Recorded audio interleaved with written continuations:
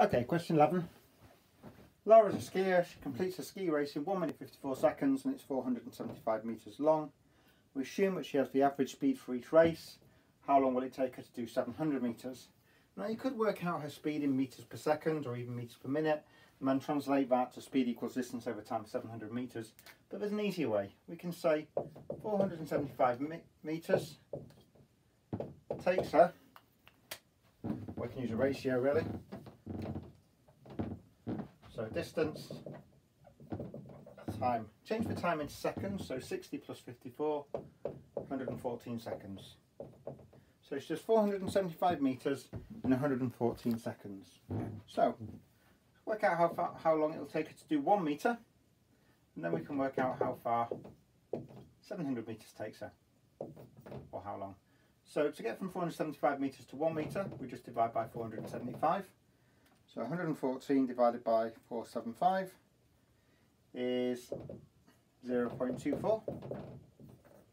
So she'll do 1 metre in 0 0.24 seconds.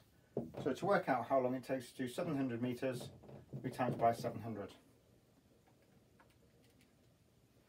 Which gives us 168 seconds. It says give your answer in minutes and seconds, so we have to divide that by 60 to get the number of minutes if we can't look at it and just go, well, yeah, it's 2 point something minutes, we get 2.8 minutes. So that's 2 minutes. And rather than focusing on the 0.8 minutes, we say, well, 2 minutes is 120 seconds. So I've got a remainder of 48 seconds.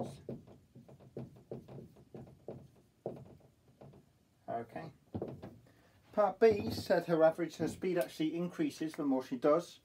So her speed increases between 475 and 700 then her average speed will also increase. And if her average speed increases, then her time will decrease.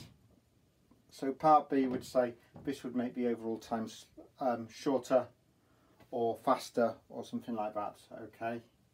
It doesn't get longer, it doesn't get, uh, yeah, just be careful with your wording. So the overall time is shorter or the overall, uh, she completes it faster so the time goes down, something like that. Okay.